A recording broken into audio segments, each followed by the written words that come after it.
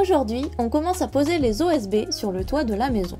Pendant que Maxime hisse les plaques par l'extérieur, je m'occupe de les maintenir en place pour pouvoir les fixer aux chevrons déjà positionnés. On reprend ensuite l'installation des chevrons manquants que l'on place sur les étriers fixés sur la panne fêtière. Évidemment, on s'était gardé les chevrons les moins accessibles pour la fin. Heureusement, Maxime a appris à dompter son vertige et peut maintenant accéder à des endroits bien plus hauts.